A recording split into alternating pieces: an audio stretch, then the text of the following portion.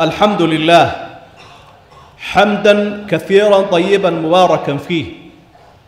وأسلم وأسلم على نبيه وحبيبه محمد بن عبد الله إمام الحنفاء وقائد الغر المحجلين وعلى آله وصحابته الكرام وسلم تسليما. أما بعد أوصيكم عباد الله ونفسي بتقوى الله تعالى فإنها خير ما يتزود إلى يوم المعاد. ama bacd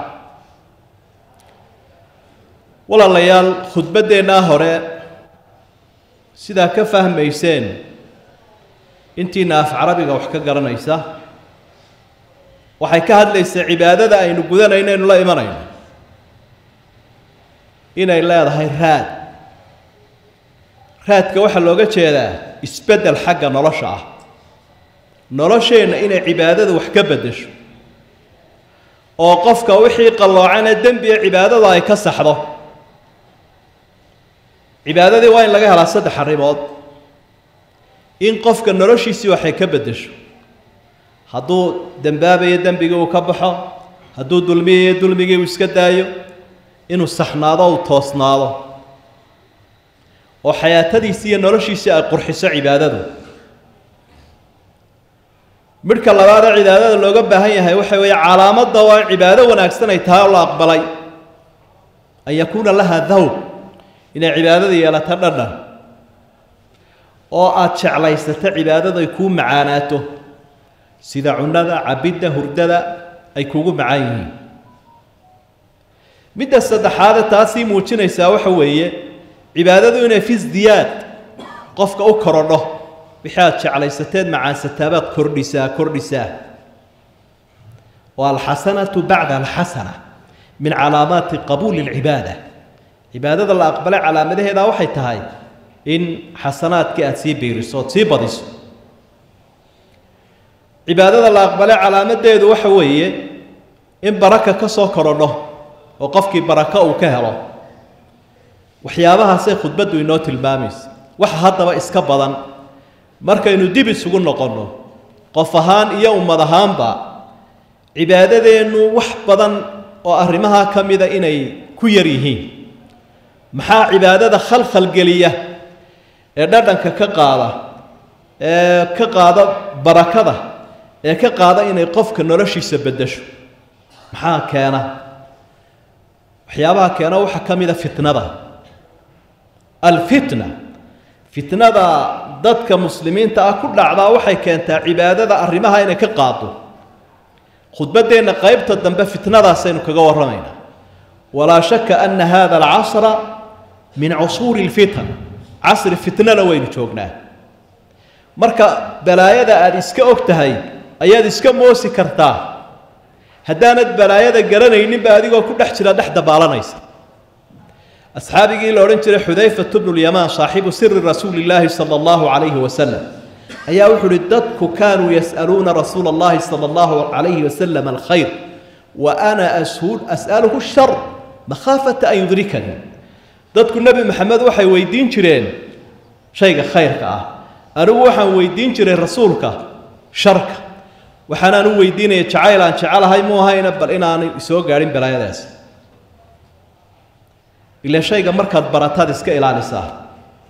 Walaalayaal casriga aynu joogno fitnadiisu waa kala nooc nooc fitnadaa waxaa ka mid ah laba fitna isugu soo ururaysa fitnatu shahawaat wa fitnatu shubuhaat. Qofka in shahwo lagu furo shahwadu waxa weeye rabitaanadiisa in laga faaidaysto rabitaanka maalka yeelashadiisa rabitaanka hamadda rabitaanka cunnada aragga iyo maqalka rabitaanadiisaasaa laga faaidaysanaya shahwada fitanka qaarkoodna fitnatu shubuhaat baa la ydhaha waxaa lagu furayaa qofka madmadow baa laga furayaa diintiisii markaasaa iimaankiisii caqiidadiisii iyo ayaa faasid laga dhigaya isagoo qalloocan buu isu haystaa inuu qofku quruxsan yahay. Qaar ka mida aynu ka tilmaanna fitnada dabadiyo gudaba si aynu isaga ilaalino ama isaga dhowrno fitnada waxaa ka mid a fitnatu lbaqi fitnada ka timaada gardarrada. Oo rasuulku sala allahu calayhi wasalam xadiiskii saxiix ahaa jumlo laga warinaya sugnaa waxa uu ku uhi watadharu lfitan wayakuru lharaj aakhiru zamaanka balaayooyinkaa badanaya fitnaduna way badanaysaa. Fitnadii maxaa ka mida dilkaa badanaya buu nebigu calayhi salaatu wasalaam waa dad la laynaya iyaguna islaynaya ummadda islaamka casrigan aynu joognaynu ka mid nahay dhiigga daadanaya ee idaacadaha iyo tifiyadu ay ka baac mushtareynayaan iyo weriyayaashu waayo waa muslimkii gaal baa dilaya iyana way isdilayaan fitnatu lbaqi waa fitnada ka timaada gardarrada ama madaxa ka timaado ama koox qaldan ama qabaa'il ama shakhsiyaad kibray waa fitnada u baahan inaynu ka fogaano oo qofku ilaahay uga beri noqdo subxaanahu wa tacaala fitnadaa gardarrada saasuu inooga digaya rasuulku sala allahu calayhi wasalam fitanka waxaa ka mida fitnatu dacaayati ila alahwaa'i waalbidac fitno ku salaysan gacan haadis dadkii waa loo baaqaya waxaa loogu yeedhayaa sidii loo lumin lahaa iyadoo loogu soo marmarsoonayo inay xaq iyo xorriyad leeyihiin bal waxaa ka soconaya social mediahae dhallinyaradeenni iyo maatideenni maya qaawanaantooda iyo qayladooday ka baaca mushtaraynayaan markaasaa wixii xishoodka la odhan jiray laga tegay markaasaan diin loo joojinaynin iyo qof wanaag faraya midnaba. Qof waliba intuu soo fadhiistaabaa wuxuu doono daldalaya. Waa gacan haadiskii shaydaanka oo helay agab lagu baahinayo xumaantii adduunka o dhan la gaadhsiinayo. Fitankaas waxaa ka mid ah fitnatulmaal oo u baahan inaynu ka feejignaano in badan oo baac mushtariya baa ku joogtaan ama waa xarun baac mushtari halkaynu joognaa ogow in maa maalka lagu fitnoobo. Calaamadihiisana waxaa ka mid a qofku markuu masaajidka joogo wuu khushuucsan yahay wuu ilmaynaya wuu tasbiixsanaya laakiin marka uu dibadda u baxo xaaraantu waa isaga caadi ribadu waa isaga caadi inuu wax qishaa waa iskaga waa isaga caadi. Calaamad bay u tahay inuu maalka ku fitnaysan yahay. Rasuulku sala allahu calayhi wasalam xadiidkii saxiixa waxa uu kuhi likulli ummati fitna wa fitnatu ummati almaal ummad walba waxbaa lagu baleeyaa ummadaydan waxay ku fitnoobayaanay ku aafoobayaanay ilaahay ku seegayaan xoolaha. Anigu idinkama baqaya buu nebigu uhi faqri. Laakiin waxaan idinka baqayaa intoo maalka la baahiyey inaad ku halaagsantaan intoo ku tartantaan qofka muslimkaahi laba midab ma leh laba shakhsiyadoodna ma leh. Shakhsiyadda uu masaajidka ku joogaabuu shaaricana ku joogaa. Siduu ilaahay ugu caabudaya subxaana wa tacaala masaajidka dhexdiisa u khushuucsanyo xaaraanta isaga ilaalinayo iyo cibaadadiisu inay burtay faasido bakhaarka markuu joogayo suuqana waa saas oo kale. Xaaraantu ka ilaalinaya afkiisa iyo uurkiisa inay gasho. Waa astaamaha sheegaya inuu qofku fitnaysan yahay hadduu masaajidkana nooc gaara ku yahay shaaricana nooc gaara ku yahay oo qof aan kii ahayn uu noqonayo. Ama xafiiska marka uu tago ama uu xukumayo kii masaajidka maaha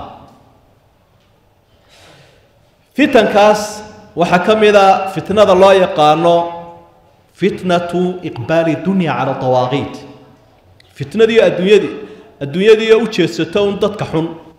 Dadka xununbaa suuq leh dadka xununbaa hogaaminaya dadka xununbaa xoog leh dadka xununbaa la dhegaysanaya caalamka maxaa ka soconaya casrigan aynu joogo? Ee innagana ina soo gaadhay ee dhimbilahoodii iyo duulduulkoodii maalin walba ina jiidayo ee dadkeennii cajabiyey. Waxay ku leeyihiin gaalkaasunbaa wixii uu yidhaahdaana uu soconaya. Isagaana laga xadhig xidhanaya markaasaa wax walo xumaanuu lahaaba la soo waaridaya oo dabada laga wadaa dadka maxaa keenay dadkan xunxuna liita ayaa adduunyadii xaggeedii u kacdo iyagaa yidhi annagaa meesha xukunna ilaahayba waxba umay reebin subxaana wa tacaala in badanoo aqoon-yahanka iyo madaxda iyo ummadda ka midina waa runtiin bay idhaah qaarkoodba haddaad tidhaa casriga ayaa xukuma adduunyada americay ku leeyihin maraykankaa xukuma markaa ninkii ka xadhay xidhaa hore u soconayaa wixiisu ilaahayba waxba uma reebayaan subxaana wa tacaala fitankay ka midta u baahan qofka muslimka ahi inuu ka feejignaado u ogaado arrimaha inuu ilaahay gacanta ku hayo. Isaguna adduunka uu xukumo. Isagana in la iska dhisaa ay mudan tahay. Fitankaas waxaa ka mid a fitnat lgurba siduu nebigu inoo sheegay sala allahu calayhi wasalam inuu qofka sunnada raacaya ee bidcada ka tegaya qofka diintiisa ku dhaqmaya qofka ilaahiisa raalli gelinaya qariib buu noqonaya. Nebigu sala allahu calayhi wasalam wuxuu inoogu sheegay xadiidkii saxiixa bada'a addiinu gariiban wasayacuudu gariiban kamaa bada fatuuba lilghurabaa islaamkani wuxuu ku bilaabmay gurba isagoo qariiboo lala yaabsan yihi qariibnimu ku dambayn doonaa? Janno iyo wanaag waxa iska leh. Qofka qariibnimadiisa xamila buu nebigu leeyahy sala allahu calayhi wasalam dadku waxay kharibayaan islaaxiyo hagaajiya weliba qurbada imaka qariibnimada imika ee dadku ku fitnaysan yihiin way ka duwan tahay tii hore oo islaamkiibaa ehelkiisii qariib ku ah. Dadkiibaa kugula yaabaya shay aayaadka ku sugan ama axaadiidta saxiixa ku sugan haddaad u sheegto maanaan arki jirin buu ku leeyahay. Waa fitnaysan yahay qofka. Bidcu ku fitnaysan yahay oo caado faasida buu ku fitnaysan yahay oo dhaqan shisheeyuu ku fitnaysan yahay. Markaase haddaad tidhaahdo aayad baa sheegtay ama xadiid baa sheegay. Wuxuu ku leeyahy maa samicnaa fii aabaa'ina alawaliin aabbayaasha iyadii hore kamaanaan maqal. Arrintan aduun bay kugu cusubtay sheekhow marka waa qurba islaamkii uu qariib ku yahay ehelkiisii marka waxaa waa waa arrin runtii iyaduna ishkaalkeeda iyo dhibaatadeeda leh. Waxa isweydiin leh fitankaa faraha badan aragna waana kala nooc nooc maxalliyan wa caalamiyan. Caalam ahaan iyo gudaheenna labadaba fitnooyinkaasi way badan yihiin وروح فسهادية ولا التنمذين يحرير كاني يحرير كاني ولا هاي الله هاي. يعبادة ذي نيبا كقاضي أرمها إنه صار أجنك ما المخرج من هذه الفتن؟ في ذلك كام حين كغب حكرينا أولا وحين كغب حكرينا اللجوء إلى الله سبحانه. إن إنه إله يعررنا يسقى وحول بمارية يسقى وحول بكاتل القاضي. مخرج كي يعريرك يسقى يعريرك كاساركه ربنا لا تزغ قلوبنا بعد إذ هديتنا. وهب لنا من لدنك رحمة إنك أنت الوهاب. ساسي مؤمنين تكد عيسانيا إله قلبك يجها الليحين إله قلبك يجها حق حق كسو. نبينا صلى الله عليه وسلم دعادي سوحة آية أبضنيد يا مقلب القلوب ثبت قلبي على ديني. إله قلوب ترك رقوت قلبك يجها الدين تهذا كسو. ونبي محمد صلى الله عليه وسلم oo aynu ognahay qalbigiisu siduu u safaysnaa iyo sida looga saaray meeshuu ibliisku fadhiisan jirayba ama shaydaanka ayaa saa ku ducaysanaya maxay nooga baahi badan ducada? Waxaynu kaga bixi karaynaa fitnada inaynu baranno diinta ilaahay tacalumu alcilmi sharci. Diinta islaamka inaynu baranno kitaabka iyo sunnada saxiixa iyo sharaxooda inaynu fahamno oo qofku si uu caqiidadiisa u difaacan karo camalkiisuna u saxnaan karo. Ma shay aanad aqoonin baad ku dhaqmi kartaa? Ma shay aanad aqoonin baad difaaci kartaa? Ama ku doodi kartaa? Marka waajibina saaran weeye waxaynu caqiidadeenna iyo cibaadadeenna ku ilaalinayno. Shubuhaadka iyo fitankaana aynu kaga badbaadayno. Inaynu carruurteenna barno dumarkeenna barno madaxdeennu barato dhammaanteed. Dhaqaalaheenna ku bixinno wakhtigeenna ku bixinno. Halka maanta in badan aynu isku mashquulinayno. Cilmiga maadiga inaynu baranno waa la baranayaa laakiin asalkii mee. Makhaarijtay ka mid tahy si aad ilaahay u barato subxaana wa tacaala marka barashada ilaahay la barto ee sharcigiisa la barto baa lagaga badbaadaa fitanka iyaga. Ah ilaa wixii soo dhacaba waad miisaamaysaa markaasaad garanaysaa musiibo inuu yahay. Qofka aqoonta diineed lih tallaal buu qabaa. Cudurradu fitnadu waa cudur. Marka la doonayo cudurka in laga hortago maxaa la sameeyaa? Cudurka dadka laga tallaala karooni iyo wixii la mid ah waa idinka arkaya marka qofka tarbiya leh ee tacliin diineed leh tallaal buu qabaa. Haddaad carruurta ku daldasho uun cilmigaa maadiga adiguna aqoontaad raajacaysaa cilmigaa maadigaa inuu noqdo. Diintaadii iyo asalkeediina aanaad waxba ka garanayn. Aroortaad arki doontaa iyadoo laydinka dhex kacay oo carruurtii nooc kale noqdeen oo adiga aad si qalloocan u fikirayso. Waa arrinta labaad. Arrinta saddexaad waxa weeye dadka wanaagsan in laga ag dhowaado oo aad ka fogaato dadka xun. Nebigu calayhi salaatu wasalaam waxa uhi fitna iman doonta aakhiru zamaanka. Alqaacidu fiiha khayru min alqaa'imi ilayha. Waalqaa'im khayru min almaashi ilayha. Calaa macna alxadiid. Fitnada aakhiru zamaanka iman doontaa qofka fadhiya ayaa ka fiicnaan doona buuhi kaysu taaga. Kaysu taagaana wuxuu dhaamaa ka u socda marka fitnada iyo ehelkeeda ka durug dadka saalixiinta ah ee muslixiinta ee wanaagsan ku dhowow kuwaa ka xadhig xidho si aada ugu badbaado ila badbaado haddaad doonayso ehelkeeda loo tagaa. Marka qofka aad saa u eegtad aragta inuu fitnaysan yahay fitnadaa aynu soo sheegno kala duduwan awrkaaga ha ku xidhiidhin hana la saaxiibin. Adigu waani hadduu qaadan waayana iskaga duru yay dhimbiilaheedu ku soo gaadhin fitnooyinkaa waxaa laga badbaadaa altawbatu ila allah subxaanah inaynu ilaahay u soo noqonayno mar walba toobad keenno qofku hadduu isqanciyo yidha adigu waad cibaadaysanaysa adigu waad wanaagsan tahay adiga waxbaba kaama xuma. Quruur baa ku dhaca shaydaankaa ka faa'idaysta. Waa inaad ogsoonaataa adigoo cibaadaysanaya adigoo camalkaagu wanaagsan yahay haddana meelo badan in wax kaa qalloocan karaan gaalnima kaa soo geli karta. Towbadu waa daruuri rasuulkeennii sala allahu calayhi wasalam ilaahay uu dembigii hore iyo kii dambeba ka dhaafay ayaa wuxuu leeyahy astakfir allah fi lyowmi mi'ata mara anigu dad yahow maalintii ilaahay waxaan weydiistaa istikfaarun u toobad keenaad boqol jeer. Sabciina mara mi'ata mara wamaa baaluk? Innagana maxaynu nahay oo dembi ku rasaysanoo waxaan la dhaqaaqi laanahay dunuubteenna iyo noocyadeeda kala duwan فتنها ولاليال مخارجتي هذا حكمي ذا شرعي إنه نفري الأمر بالمعروف والنهي عن المنكر. إن حمان تلا لديده وأنا قرأ الله يسفره. قيس كاغا هتا تشوكتا هتا بخار كاغا تشوكتا هتا صاحب هذا لا تشوكتا هتا الوطن كتشوكتا هتا دبل يقولوا قف كمسلم كأ غير الله حماسة بولي. فتيلا دا أن الله كما يبختين شعور دينات بولي. هل كاينو واحد أنا حولهين iyo reerkeenna iyo magaceenna iyo qoladeenna marka la soo qaado aynu waalanay qowlalada aynu ka xumbayno. Waxaa la doonayaa xamaasaddaa iyo qiiradaas inay kugu jirto diinta ilaahay subxaana wa tacaala. Calaamaadka iimaanka qawiga waxaa ka mid a inaad u hinaasayso oo aad u cadhoonayso ilaahay diintiisa daraaddeed. Ilaahay diintiisa inaad u cadhoonayso.